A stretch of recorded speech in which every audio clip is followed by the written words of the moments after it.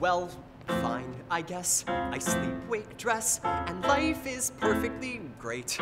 And out I go to grab some Joe. I'm at the deli by eight.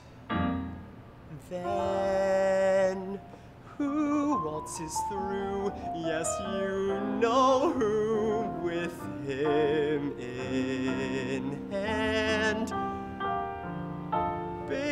And roll, and out they stroll right past me.